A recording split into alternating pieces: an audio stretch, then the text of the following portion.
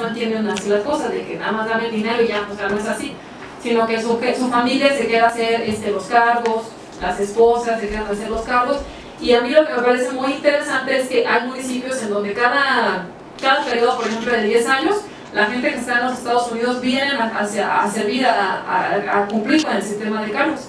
Y dicen, ¿sabes qué? Pues ya te toca ser presidente municipal, ya te toca ser síndico, y aparte esos cargos son honoríficos.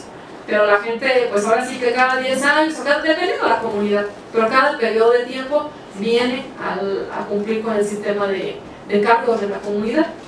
Entonces, bueno, así es más o menos como el, el, este, el tribunal este, se ha pronunciado, o así es como inició todo este tema de, de la, este, pues de la, de la competencia para conocer estos asuntos.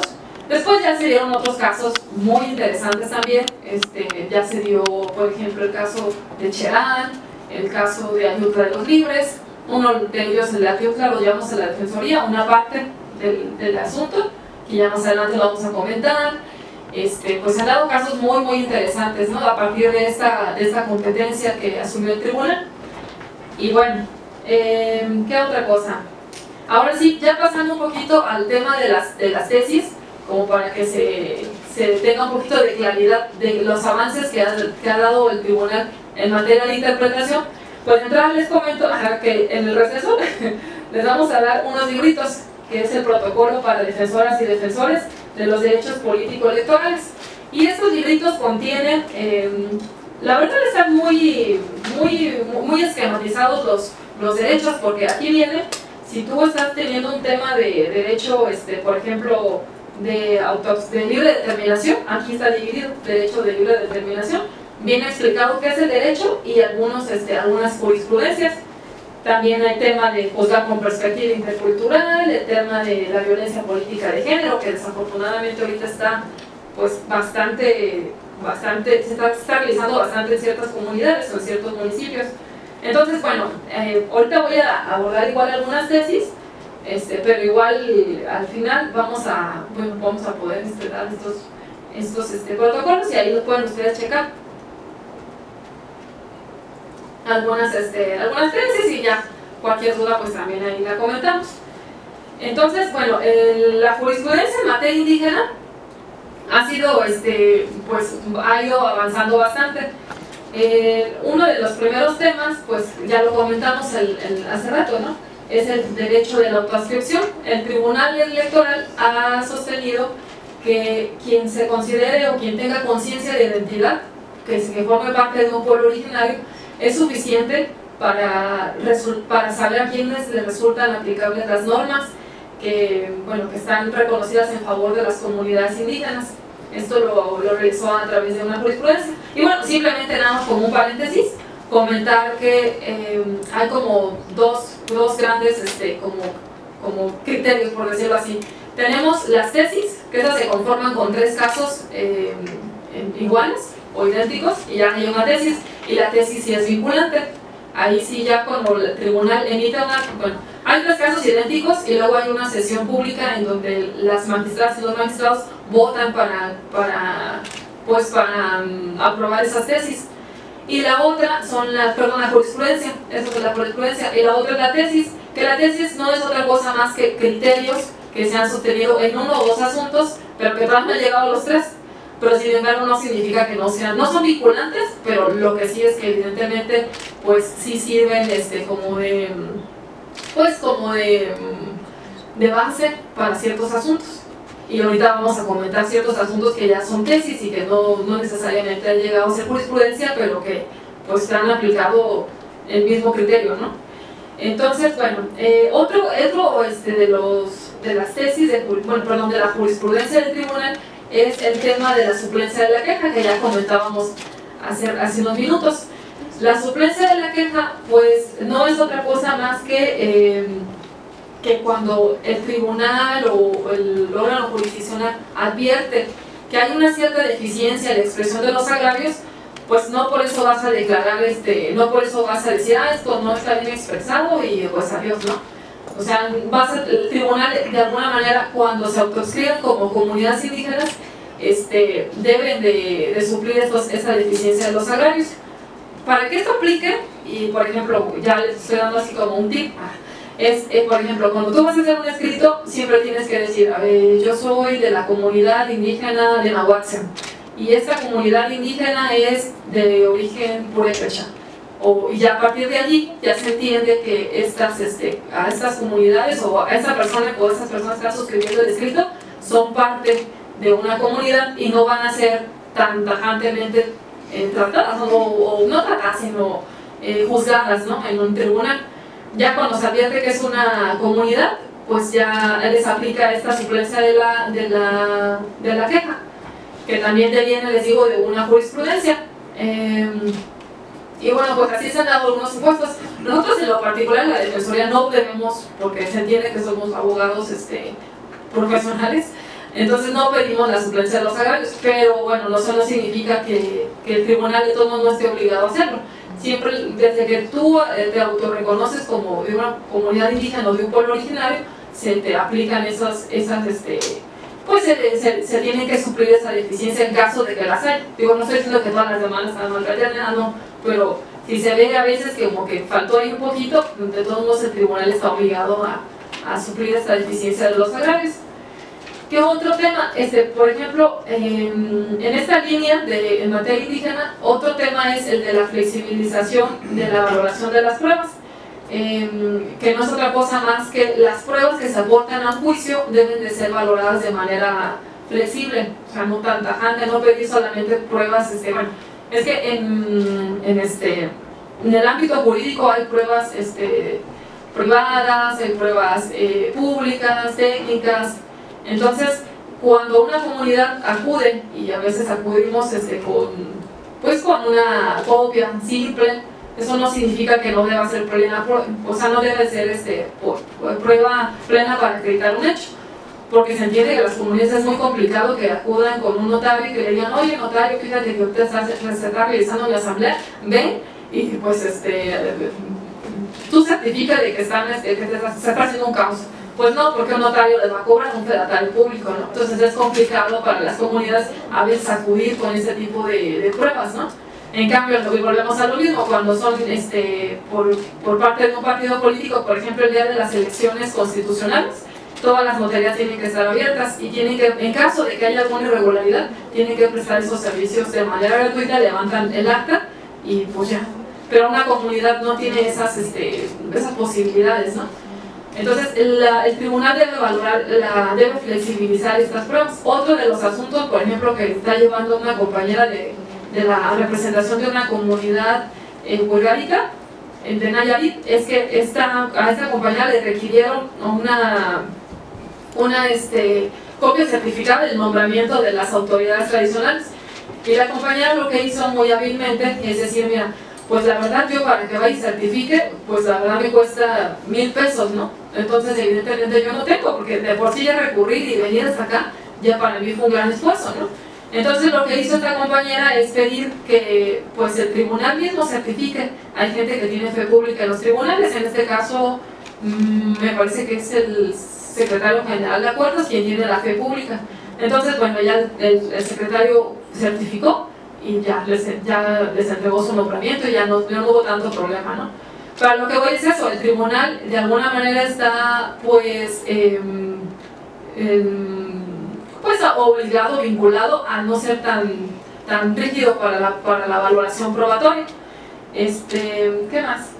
Una de las jurisprudencias más importantes desde mi punto de vista y la que casi de ley sí se tiene que conocer es el de la, el de la de rubro, jurisprudencia 19-2014, comunidades indígenas, los elementos que componen el derecho de autogobierno. Y esa ya es una interpretación de varios asuntos que se han llevado a cabo en el tribunal. ¿Y cuál es este, uno de los elementos? Bueno, el reconocimiento para elegir autoridades bajo el sistema normativo interno. Pues, ¿qué significa esto? Que em, bueno, las comunidades indígenas pueden o tienen la facultad de elegir a sus autoridades bajo el sistema normativo. No es otra cosa más que, por ejemplo, si bien tenemos este, unas elecciones que son constitucionales, que son este, bajo el sistema pues el sistema federal, ¿no? El, donde el INE organiza las elecciones, donde te piden credencial de votar para que puedas participar, en donde tienes que acudir a tu casilla, porque si no, pues tienes que recurrir a una casilla especial y llevar tu credencial, o sea, como que todas estas reglas que ya conocemos, ¿no? Para elecciones de presidente de los Estados Unidos, de senador, de diputado federal.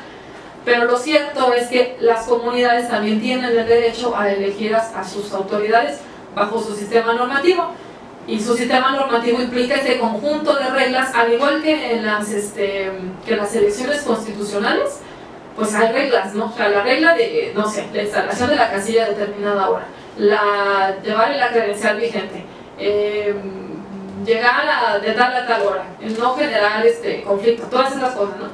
Y también en las comunidades hay un sistema normativo propio. Y este, por ejemplo, y yo bueno, aquí no, no me quiero así como poner a hablar de eso porque yo sé que muchos de ustedes son integrantes de, de, pueblos originarios y pues la menos legitimada para hablarlo soy yo, porque ustedes tienen ese sistema normativo, pero de lo que ustedes saben, este, de los, de los, este, pues de los asuntos que hemos llevado, pues he, he aprendido bastante de ustedes. Entonces, por ejemplo, el sistema normativo de la comunidad, no sé, mm, vamos a pensar, bueno, es que de ellos lo voy a hablar más adelante, pero mmm, no sé, se me ocurre en Comaltepec. Es una comunidad que se encuentra en Oaxaca. Y esta comunidad, pues lo que hacen es que hay una, cuando va a haber una, un cambio de, de presidente municipal o bueno, de toda la, el ayuntamiento, convoca al presidente municipal a la este, a, asamblea para elegir autoridades. Quienes pueden este, participar este, son la gente que realiza el sistema de cargos y quienes están este, bueno, al, pendiente o al tanto de su sistema de cargos. Y nada más los mayores de 18 años, ¿no? Bueno, no, no, no tengo esa seguridad, pero es un ejemplo, ¿no? Entonces ese es, el sistema normativo, se reúne en la asamblea y a través de mano alzada deciden quién va a ser el próximo presidente municipal y sus síndicos y todo, ¿no? Y aparte el presidente saliente también pues ahí rinde cuentas a la asamblea y bueno, eso es también un sistema normativo. Y es tan válido, nuestro, el, es tan válido el sistema de las comunidades indígenas como el de este, el, el que lleva, el que organiza el INE con el Tribunal Electoral y todo eso, ¿no? Son tan válidos los dos. Otro de las, este, de las aristas o de los elementos del derecho de autogobierno es el ejercicio de sus formas internas de organización. Por ejemplo, eh, las formas internas de organización, pues más o menos es lo que comentamos. En las comunidades hay cierto sistema de cargos, por ejemplo, por lo general se inicia como topi, ¿no? que son las personas que se encargan ahí como de ayudar al, al este, a la faena y todo eso. Luego sigue, no, bueno, depende de la comunidad, pero cada uno tiene, tiene como un cargo determinado y si cumples con ese cargo puedes pasar al siguiente, así hasta llegar a presidente municipal. Bueno, pues pasas por diversos cargos, ¿no? Entonces, eh, las comunidades tienen ese derecho a, la, este, a, esa forma interna de organización. La otra es su participación plena en la vida política del Estado. Y la otra, que me parece, las demás están como vinculadas pero una de las, de las aristas más importantes es la consulta previa en cualquier medida que pueda afectarles. Entonces, este, son como los elementos del autogobierno. Ya hasta más adelante lo vamos a explicar con algunos casos, porque a veces este, uno lo lee y, o lo platicamos y parece que este, está como así en el mundo de las ideas, allá en el tribunal, allá alejado, cuando en realidad no es así, cuando en realidad se lleva a diario o se llevan en muchísimos asuntos que estamos atendiendo, ya en la práctica, ¿no? Pero bueno, este... Es que lo podamos subir un poquito, ¿no? ¿No tiene calor? ¿Ahora sí? Sí. Ahora sí. Ya. Muchas gracias. Es, es engañoso el lugar. Sí. Es que hacía mucho frío. Ah, bueno, ya. No, tampoco ya sí. Porque no se vayan a dormir. Ok. Entonces, ese es como los elementos del autogobierno. Este, otra de las tesis que se ha desarrollado bastante es el de la consulta previa a comunidades. Este, las autoridades administrativas electorales de cualquier nivel están vinculadas a realizarla cuando se emitan actos susceptibles de afectar sus derechos. Que esto no es otra cosa más que cuando tú vayas a afectar a una comunidad, el órgano para realizar las consultas es el Instituto Electoral cuando tú vas a afectar a una comunidad. o cuando vas a realizar una consulta porque ellos pidieron el derecho a esa consulta. Quienes están facultados es el Instituto Electoral de los estados. Eso no, es, no es otra cosa más que eso. ¿Y cómo debe realizarse esa, esa este, consulta? A veces es a través de sus autoridades tradicionales, por ejemplo en el caso de la transferencia de recursos y participaciones federales, es nada más a, través de las autoridades tradicionales, y a veces es a, toda la comunidad. Dependiendo del tipo de asunto y dependiendo ahora que del, contexto, es este, cómo se va a aplicar. Pero lo que sí es que lo que no está así como en duda es que cuando haya una afectación a los derechos políticos, se tiene que consultar a la comunidad. Eso sí no está en, este, pues ahora que no, está en duda eso, ¿no? Se tiene que hacer. Y ahora pasemos un poquito a las tesis este, en materia indígena. Las tesis, como les refería, pues las jurisprudencias sí son obligatorias y vinculantes. Entonces, sí les aplican a todos los, este, a, a, todos los tribunales electorales, tanto locales como el federal, o sea, las salas del tribunal, a la sala superior, a todos, todos están vinculados a ese criterio. Y este, empezamos, por ejemplo, ya, ya la tesis pues no es vinculante, pero ya es un criterio emitido por alguna sala del tribunal y de alguna manera ya hay un pronunciamiento, ¿no? Pero también las van, las a aplicar bastante, de hecho. Entonces, este, bueno, el primero es eh, que el sistema jurídico mexicano se integra tanto por el derecho indígena como el derecho formalmente legislado. Y esta es una de las tesis que a mí me parecen como súper importantes. ¿Por qué? Porque el, el, tribunal reconoce de que tanto las normas que se emiten por el legislador, o sea, por los congresos de los estados, por el legislador federal, tienen el mismo rango que las que se emiten en una, o tienen la misma, la misma importancia, el mismo valor que las que emite una comunidad a través de su Asamblea General Comunitaria. Y esto es una, para mí creo que es un gran avance para entender precisamente lo que nos, lo que nos reúne en este foro, ¿no? el pluralismo jurídico, que no es otra cosa más que el reconocimiento de estos sistemas normativos o estos sistemas que se encuentran, este, bueno, que se encuentran ejerciendo en el ámbito este, material. ¿no?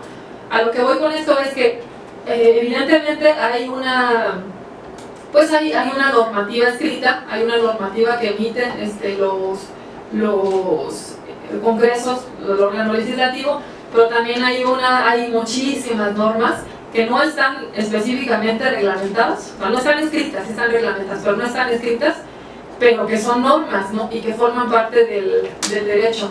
Y yo les voy a platicar aquí una experiencia que tuve. Este, yo, bueno, tuve la oportunidad de estudiar en, la Universidad de Alicante y allí, eh, pues evidentemente, em, pues sí está un poquito más vinculado al estudio de la interpretación judicial y al estudio de la argumentación jurídica. Entonces, yo quise, en, ese entonces, estaba como a dos años después, estaba en boga el caso Cherán, ¿no? Entonces, pues yo quise hablar del caso Cherán, ¿no? Yo hice mi, mi tesis sobre el caso Cherán entonces, este, pues yo, me, yo, para mí fue un choque y fue así como, eh, ¿por dónde empiezo? Cuando yo quise escribir mi tesis, fue como muy difícil porque yo dije, mmm, como que ninguna teoría le aplicaba, todo lo que me habían enseñado era como, pues no, no, no, no es aplicable. ¿Por qué? Porque todo es el análisis de la sentencia, todo es como este, los argumentos que vienen de la sentencia y lo demás como que de alguna manera queda invisibilizado. Eso es algo que nos pasa mucho a los que estudiamos Derecho, porque nos, nos enseñan desafortunadamente, pues nada más este sistema normativo. Cuando uno va, pues, ay, que la Constitución, no, pues, este, que, las, este, que las leyes, no, pues, y a eso, eso este, se le da un valor, digo, no dice que no sea importante, por supuesto que lo es, es este, muy importante, pero se le da un valor así como si fuera lo único que hay, el sistema único que hay, y no es así cuando yo quise estudiar este asunto, pues era así como, bueno, como ¿por dónde empiezo? ¿Cómo planteo el caso de Cherán ante una, este, ante una, una universidad pues con tanto rigor en, el tema de la, este, de la interpretación?